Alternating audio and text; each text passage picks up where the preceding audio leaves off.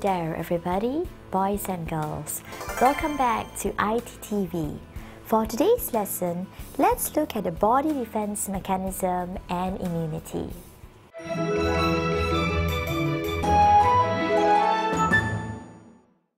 So, we're basically focusing on the body defense mechanism and immunity. The learning outcomes for today will be to state another function of the circulatory system besides just on transportation, to identify the body's three lines of defense mechanism, to describe the process of phagocytosis, to state the meaning of antigen and antibody, and to state the meaning of immunity and immunization. So with that, we, in addition, we have to relate antigen and antibody to immunity. We need to know how to name and give examples of various types of immunity. By the end of the lesson, students should be able to state the effects of HIV on the body's defense mechanisms, to describe the transmission of HIV, and to suggest ways to prevent the spread of the acquired immune deficiency syndrome known as AIDS. So, let us look at the role of the circulatory system in the body's defense system. Because we have learned the circulatory system in fish, amphibians, and humans, and we have compared the different circulatory systems. So, today we will continue with other roles of the circulatory system apart from in transport. You see, there are many microorganisms in our environment, in which some of them are pathogenic and humans are always attacked by diseases caused by microorganisms or pathogens, which are transmitted via air, contaminated water or food, and also by vectors such as mosquitoes and flies. Some skin diseases can also be transmitted via contact, so a healthy body is needed to be protected from these pathogens some skin diseases, for example, maybe leprosy, um, you have hand, foot, mouth disease, which is transmitted via contact. So it is very important for us to have a healthy immune system to protect ourselves from these harmful pathogens.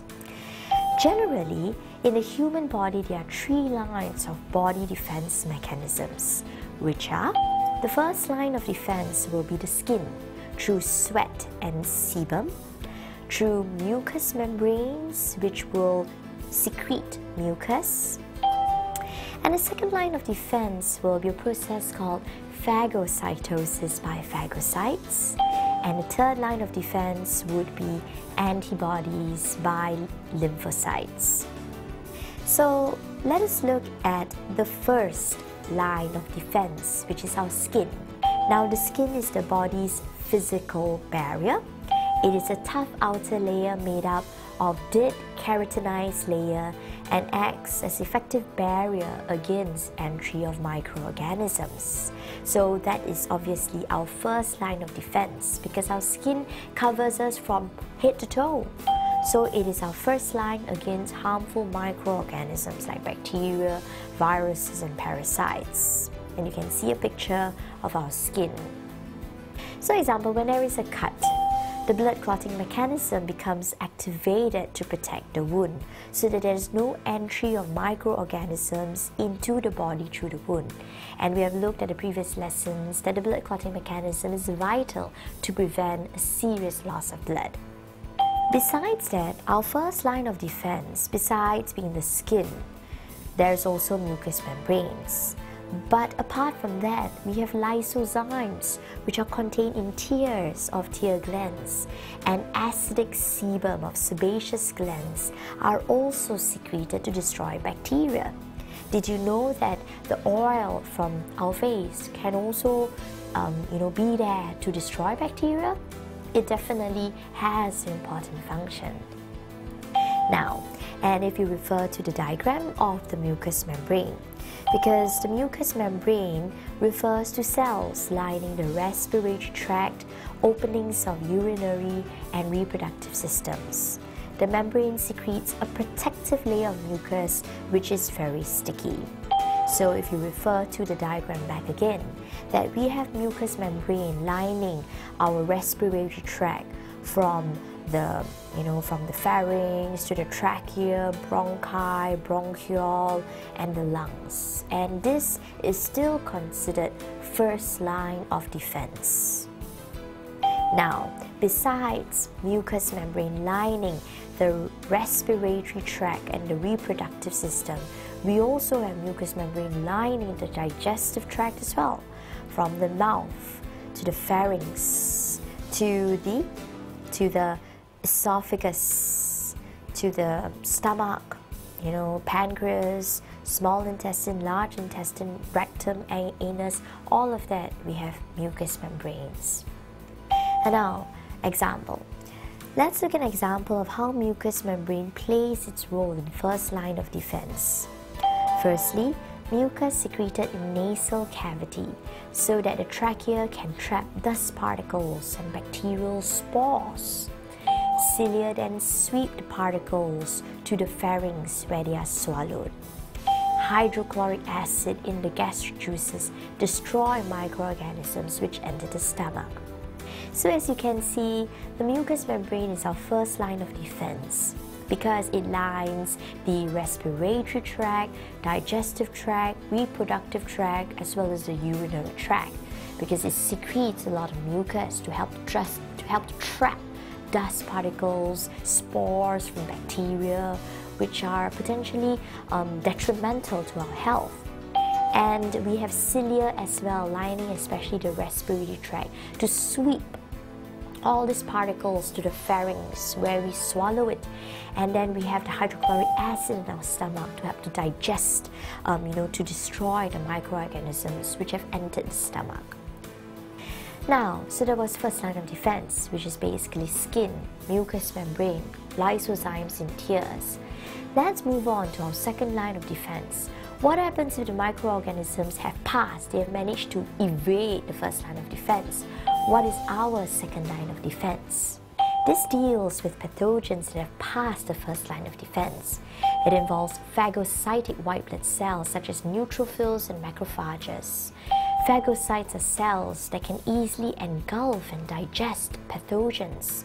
Infection causes the number of white blood cells to increase so that they're able to destroy the pathogen. So generally, when the pathogens have managed to cross the first barrier, then out comes our second line of defense in the, in the form of phagocyte cells, example neutrophils and macrophages.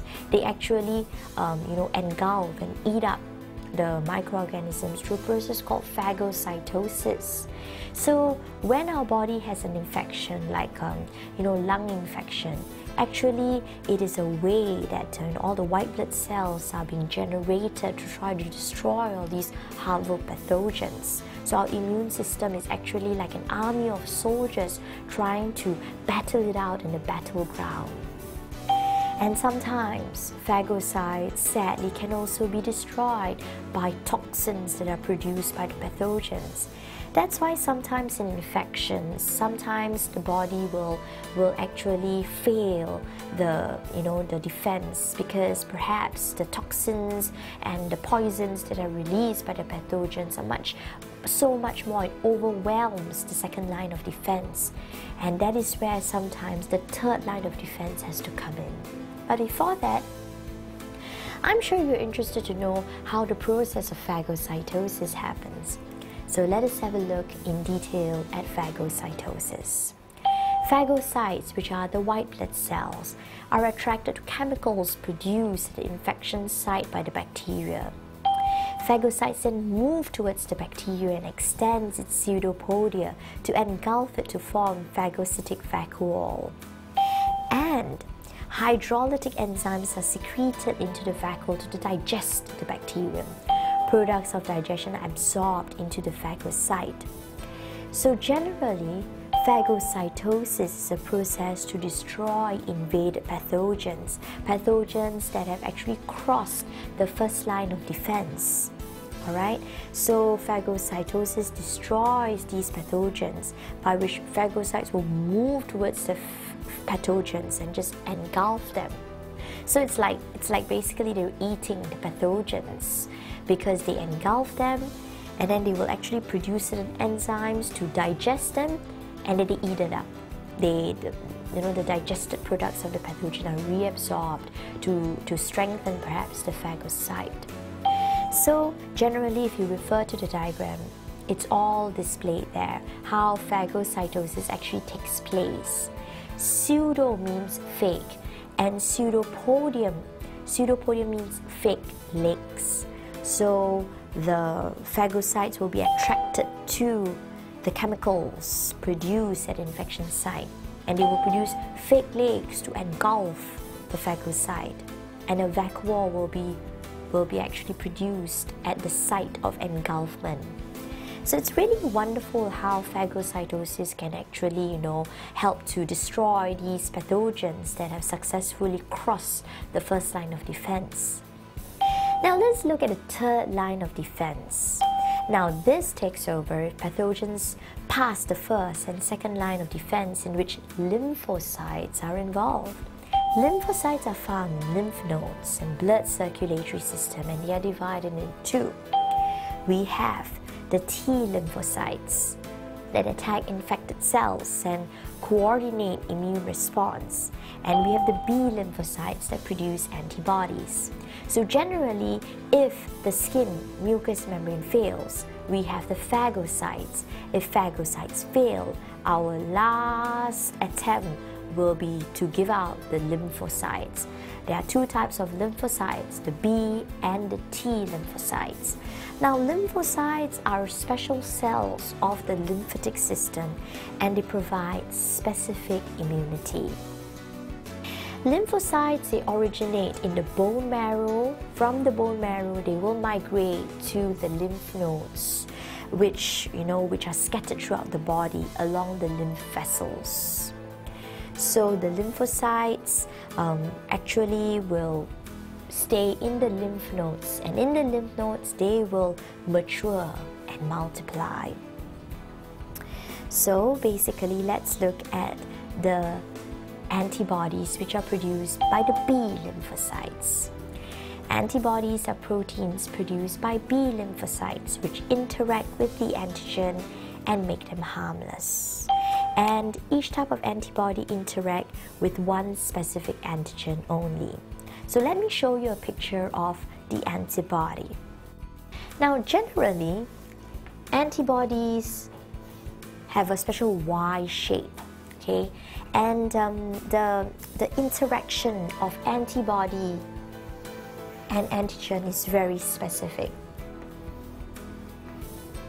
Because usually pathogens and microorganisms they would have all these proteins on their surface these antigens on the surface. And so these antigens on the surface of the microbe or the pathogen. So this is a really virulent, harmful microbe that has crossed the first and the second line of defense. And every microbe will have their specific antigens around it, which are basically proteins. So this is an antibody and um, the antibodies will recognize specific antigens and will either bind to it and of course neutralize the antigen. So different antibodies have different lines of action and the action of antibodies are specific. One type of antibody for a specific type of antigen. It's something like an enzyme substrate interaction. Every enzyme is specific for a substrate. So every antibody is specific for its particular antigen. So if we look at it, antibodies are also highly specific and they destroy antigens in different ways.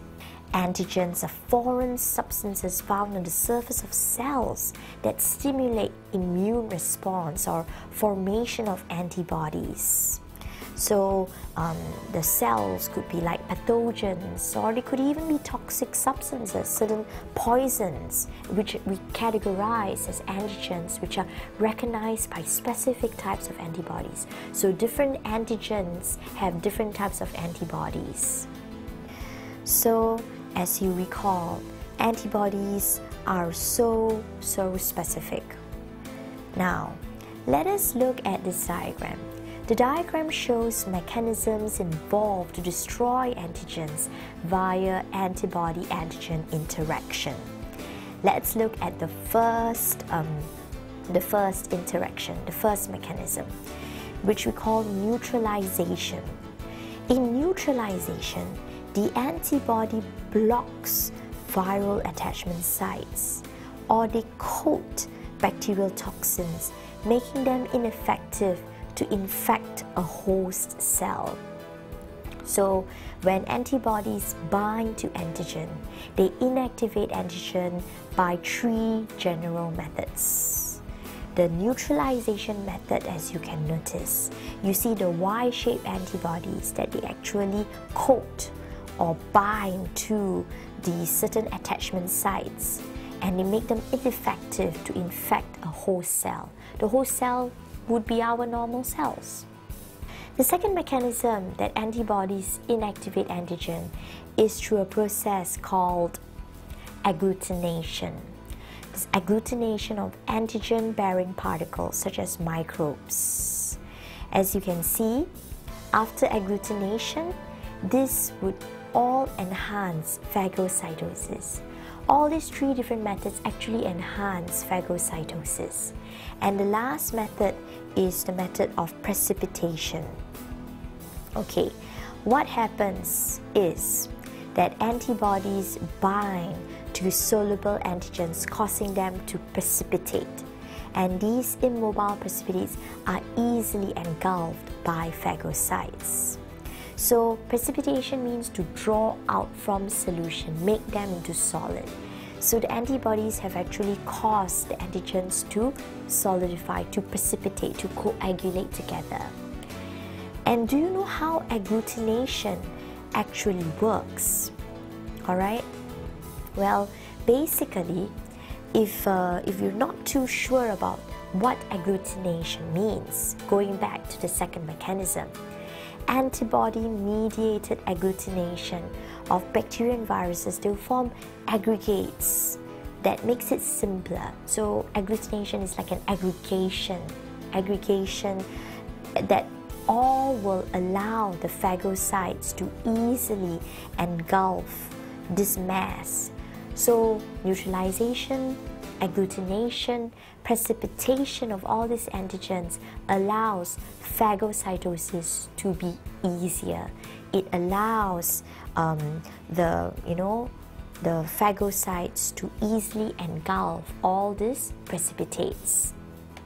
So those were the three major mechanisms of action by antibodies, neutralization, agglutination, and precipitation, which enables phagocytosis easier to happen.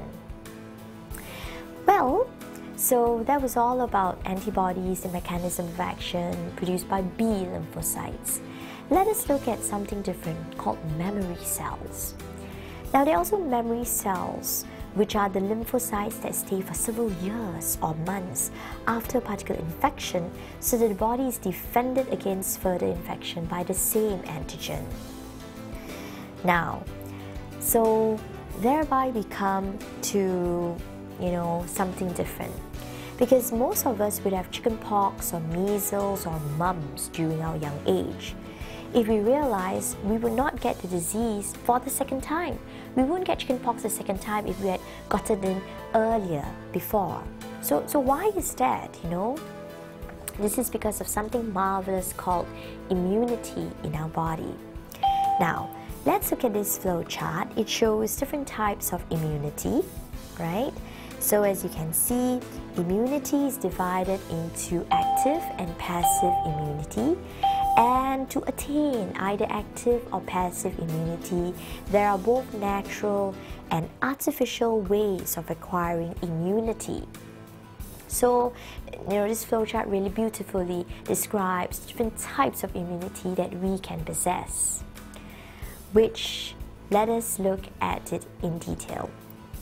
Now, immunity is the ability of the body to resist infection by pathogens, and it relies on lymphocytes and the antibodies produced to give a specific immune response.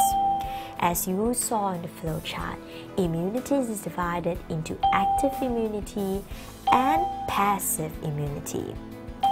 Active immunity occurs when an individual's own immune system produces its own antibodies to defend against specific antigens, while active natural acquired immunity occurs when an individual has recovered from certain diseases like mumps, chickenpox, measles.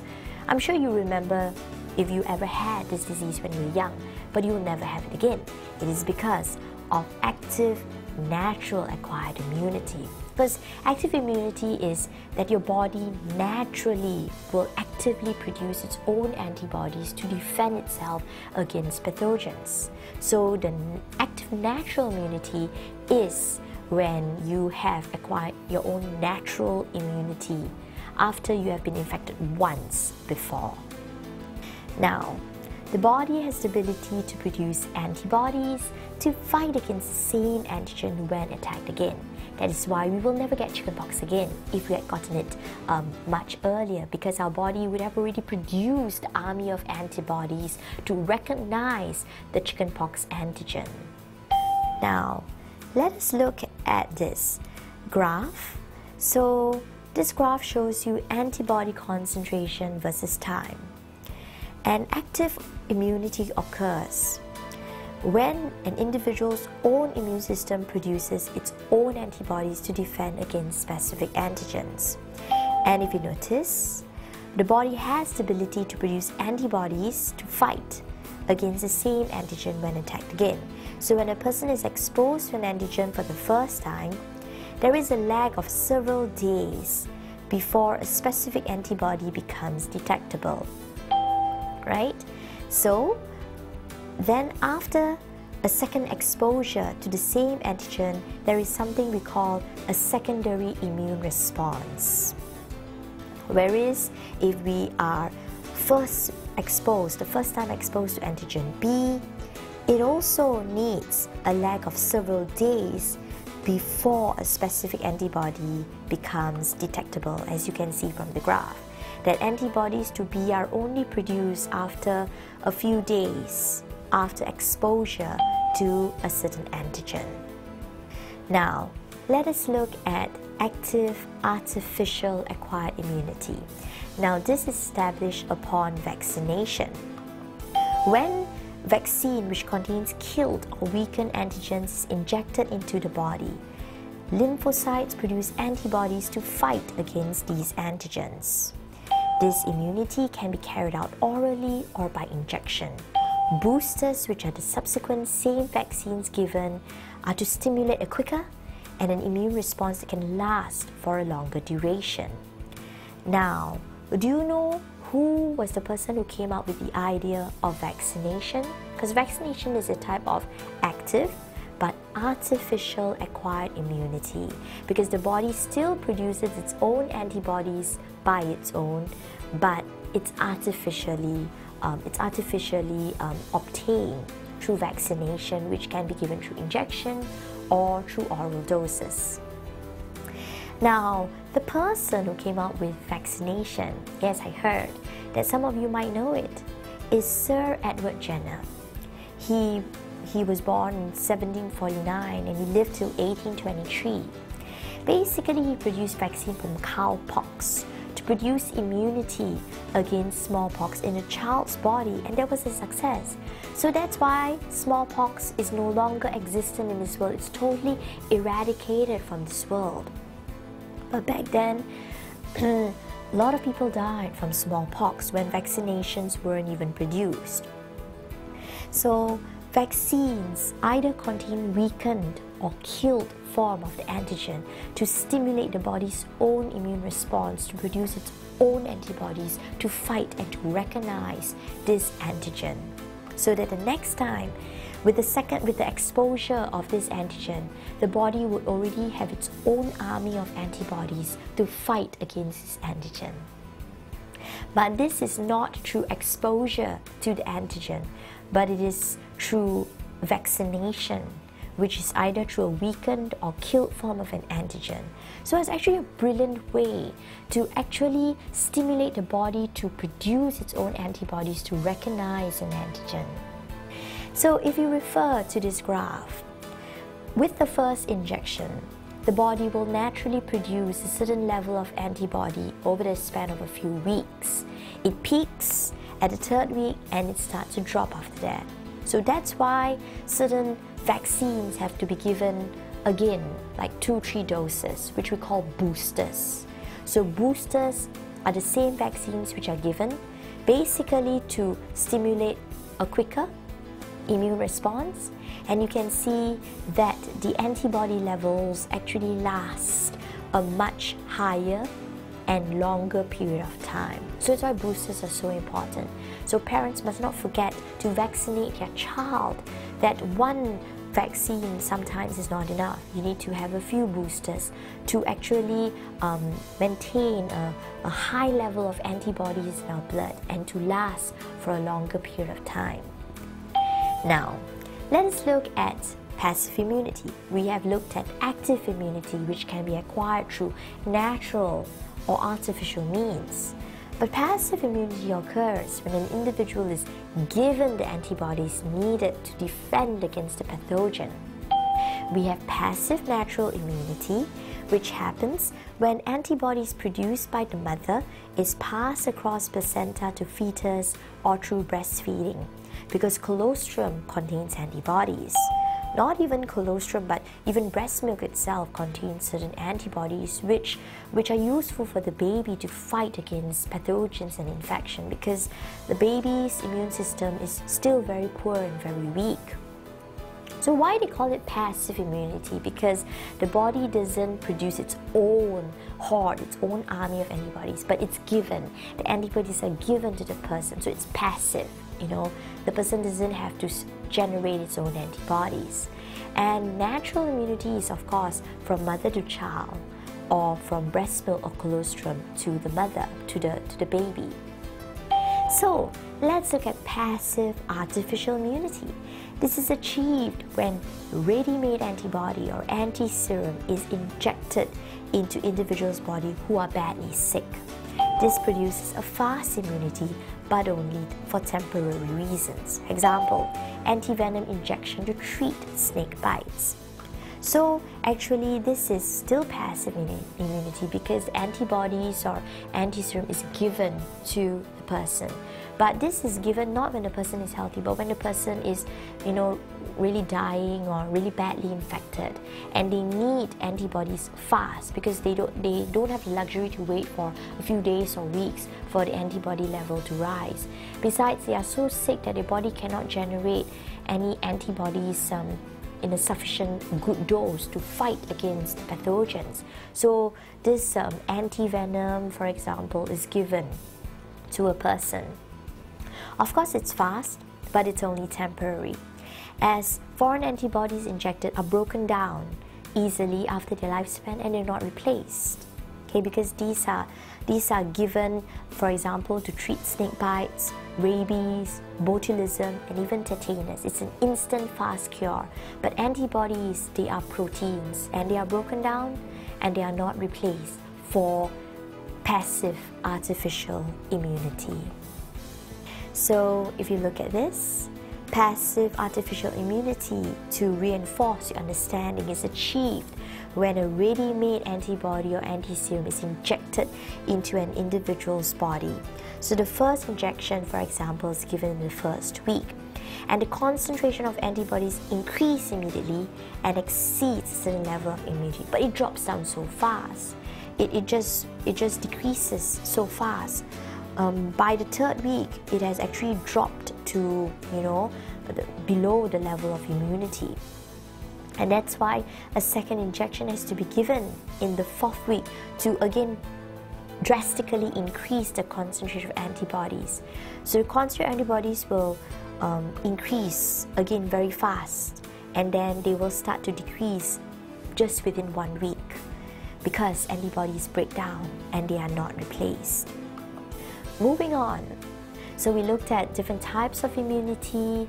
We looked at how the body actually responds. First, second, third line of defense against pathogens.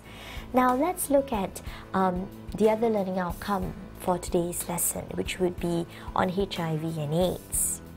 Now, AIDS stands for Acquired Immune Deficiency Syndrome, which is a disorder which damages the human's immune system, and it is caused by the human immunodeficiency virus also known as HIV.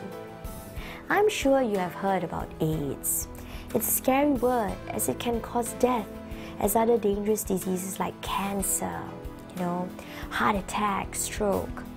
Currently, according to UNAIDS, there are about 42 million people around the world who are suffering from this disease. Can you imagine that?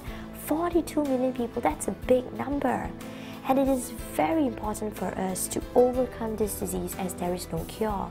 I mean, imagine with all this latest technology and medical breakthroughs, we still have not found a cure for cancer or even AIDS. It's such a terrible, debilitating disease. Now, why is that so? Let us have a look at why HIV is, is, is you know, such a debilitating disease.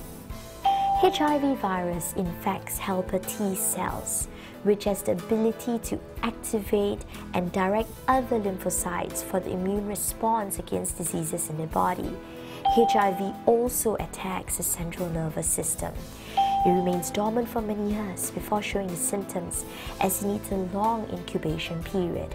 Now, do you remember the T lymphocytes? They are the ones that coordinate the immune response of other cells. So because of that, they are so important if they are down because you see, these T lymphocytes or T cells, they are the third line of defense. If they are gone, then there is no more. We, we don't have a fourth line of defense. It's only one, two, three. And once the pathogens are able to cross over the third line of defense by, by you know, by actually killing and infecting our precious T cells, then our body will not be able to um, defeat the HIV virus. So, a person who is infected with HIV, as time goes by, the person becomes weak and immune system is unable to fight against many pathogens. The function of the nervous system decreases and the individual will also experience drastic weight loss. So as you can see, people who die from AIDS, they don't die from um, you know, really, really um, terrible disease, but it's because the immune system is so weak that even sometimes simple diseases which a normal person can can actually overcome, they actually the body succumbs to it. Things like meningitis, pneumonia, even flu, they can actually die from flu because the immune system is so weak. All the T cells, T lymphocytes are all actually infected already because the virus is like a parasite. It needs host cells to rapidly, you know, um, divide and multiply. It needs host cells to thrive. And that's why they actually start to kill all our T cells and thereby decreasing the function of our central nervous system. The cause of death of the individual will not be AIDS, but caused by other secondary infections that result due to low immune response by the body. Example of disease are pneumonia, tuberculosis, meningitis, fungal diseases, and cancer, such as Kaposi sarcoma. So if you notice, a person with HIV does not die from AIDS, but secondary infections. Normal infections, which I mentioned now, which normal people like you and I, we can easily overcome because our immune, immune systems are functioning well and healthy. But for a person with HIV, their immune systems are compromised. They have immunocompromised um, immune systems. So because of that, they can easily die just from diseases which we normally are able to overcome the infection. Even things like fungal diseases, it actually um, can kill a person with HIV. So let us look at um, a picture of this uh, HIV virus. As you can see here, it, um, it looks like a circular shaped virus and it has all these um, antigens surrounding it. These are all the certain special protein structures okay, that actually um, defines a HIV virus. And a HIV virus is known as a retrovirus because it contains RNA in inside the, the nucleus. HIV can only survive in body fluids like semen, vaginal fluids, and blood. It can be transmitted in four different ways, which would be the virus can be transmitted via um, unprotected sexual intercourse with infected partners. An infected pregnant mother can transmit the virus to a child in the uterus and also through breastfeeding. A drug addict who is a HIV carrier that shares needles and syringes which are not sterile can pass the virus to another drug addict. Besides that, through contact uh, with blood products of an infected person, like in hospitals. So I think one of the saddest ways for HIV transmission is through um, blood transfusion. That if the hospitals does not screen or makes a mistake in the screening of blood, that they miss out the presence of HIV virus and they just transfuse the blood to an innocent person. That person who receives the blood that is infected with HIV virus will be infected with HIV as well. And it's really sad because HIV has got no cure up to today. As there is no cure yet, many researchers are are you know trying to find ways drugs vaccines at least to treat aids patients. Maybe to alleviate the, the pain they may be feeling. Maybe to boost up their immune system through different ways so this disease cannot be transmitted by sharing food, public utensils, you know, through touch, through swimming pools, through public toilets. These are common misconceptions that people may have about the method of transmission of HIV virus. For now, the best way to overcome AIDS is through preventive measures. And what are the preventive measures that one can do to um, prevent from being infected with HIV. Firstly, do not engage in intercourse with more than one partner. To practice safe sex by using condom. Some countries even reduce sharing needles and syringes among drug addicts by setting up centers that allow free sterile needles and syringes exchange. Of course, the best is, of course, if they were to kick the drug addiction. And of course, we have drug rehabilitation centers. But for drug addicts which are so hardcore into the system, some governments and countries around the world they actually set up special centers to just provide um, free sterile needles. Like the Malaysian AIDS Council as well do give out free condoms as well to people so that you know that they will always practice safe sex. Of course the best is the best is not to have um, not to actually um, you know have intercourse before marriage because that will actually increase the rates of uh, possibility of HIV transmission. To not actually have intercourse before marriage but to only uh, you know have it after marriage. Now besides that it is important to practice strict screening of blood before transfusion is made in hospitals Apart from that, campaign should be carried out to alert the public about the threat of AIDS to human health. And lastly, counseling should be provided patients who are HIV positive to create the awareness of the virus and its spreading to other healthy individuals. So, of course, naturally, it is responsibility of the hospitals to screen carefully the presence of certain virulent, dangerous viruses and bacteria in the blood before they actually carry out blood transfusion.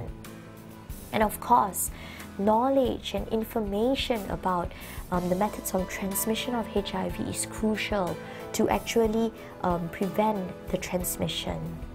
And of course, for those, like for example in Africa, most of the 42 million of HIV infected patients are actually based in South Africa.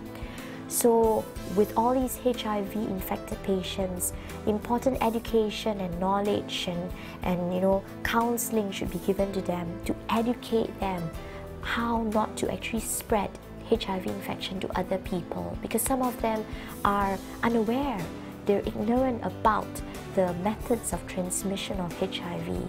So, with knowledge is power.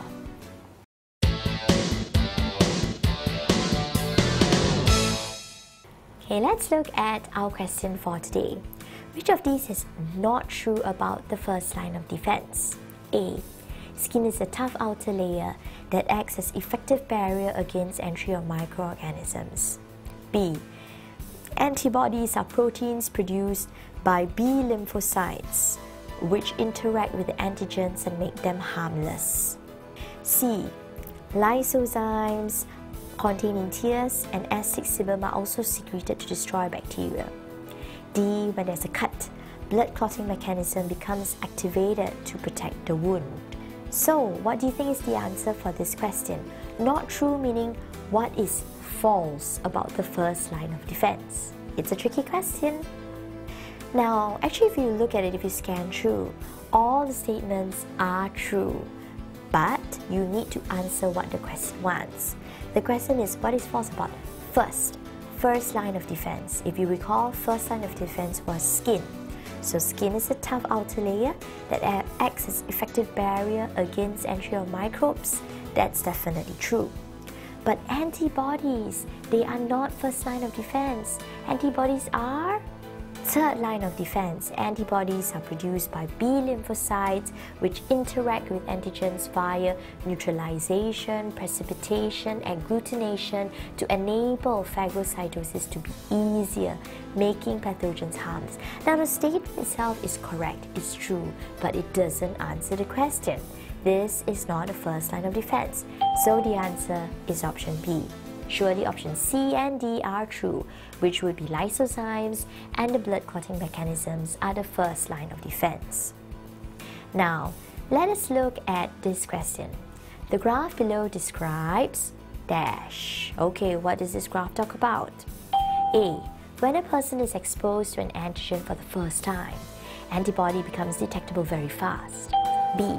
If the person is re-exposed to the same antigen, a new antibody is produced. C. When a person is exposed to an antigen for the first time, antibody is produced in large amount.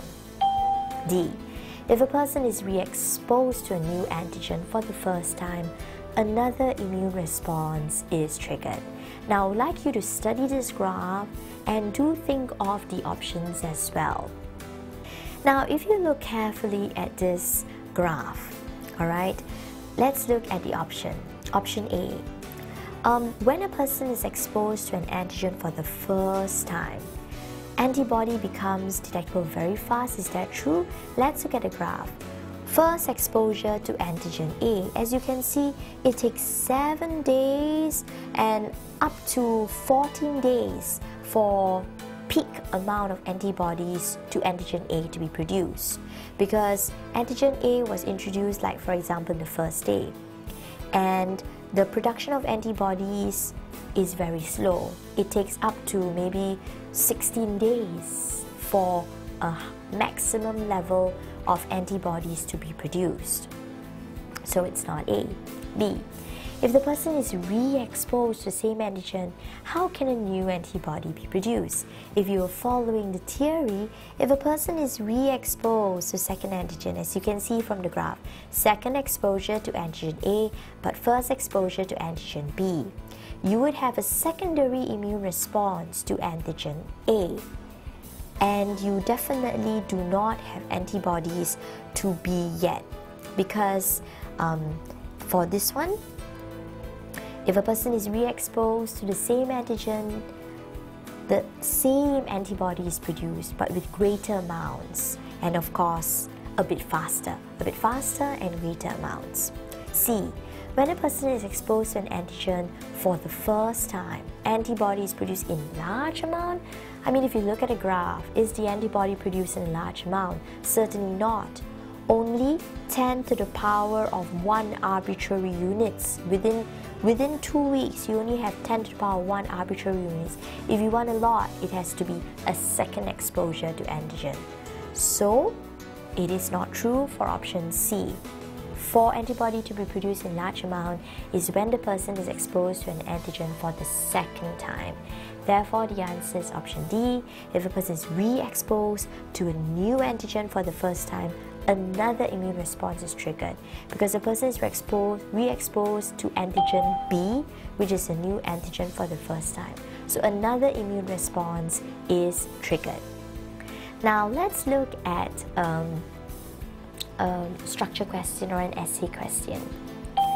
Okay, so let's look at describe antigen antibody mediated mechanisms.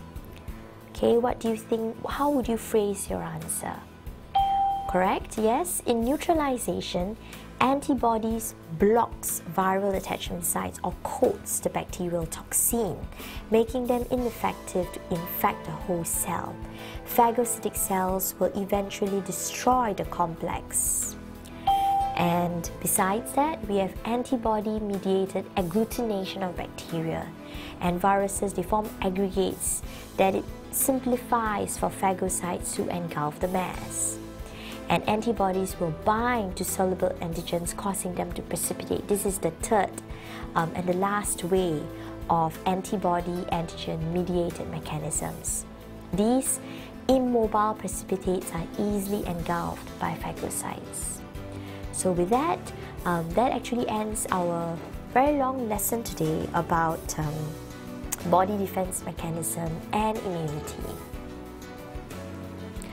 Thank you so much for watching ITTV. We hope you had a better understanding about how the body defenses itself as well as different types of immunity, passive and active, as well as natural and artificial ways of acquiring immunity. So with that, I hope that you will practice a lot more of your questions. Thank you so much and have a great day.